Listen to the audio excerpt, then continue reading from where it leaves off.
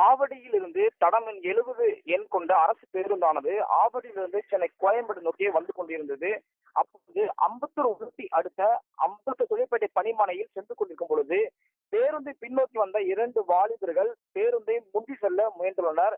அப்பொழுது பேருந்து பணிமனை நிறுத்தத்தில் நின்- நின்ற பொழுது அஹ், ஆத்திரம் அடைந்த அந்த இரண்டு வாலிபர்களும் இருசக்கர வாகனத்தை சாலையோரம் நிறுத்திவிட்டு அரசு பேருந்தின் உள்ளே அத்துமீறி நுழைந்து ஓட்டுநர் மற்றும் நடத்துகளை தாக்கியுள்ளார்.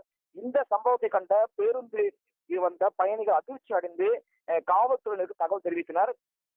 அந்த சம்பவம் நடந்த அருகிலேயே இருக்கக்கூடிய காவல் உதவி மையத்தில் இருந்த போக்குவரத்து காவலர்கள் சம்பவ இடத்துக்கு விரைந்து வந்து அந்த இரண்டு வாலிபர்களையும் பிடித்து அம்ப தொழிற்பேட்டையில் ஒப்படைத்துள்ளனர். இந்த சம்பவம் குறித்து அம்ப தொழிற்பேட்டை போலீசார் அந்த இரண்டு வாலிபர்களையும் விசாரணை மேற்கொண்டு வருகின்றனர்.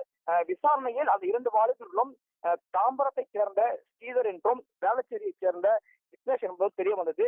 இந்த சம்பவமானது அந்த பகுதியில் மிகப்பெரிய பரபரப்பு ஏற்படுத்தியுள்ளது. அரசு பேருந்து ஓட்டுநர் தாக்கிய சம்பவம் பேருந்துகள் பயணிகள் மத்தியில் மிகப்பெரிய அதிர்ச்சி ஏற்படுத்தியுள்ளது அங்க இருக்கணும்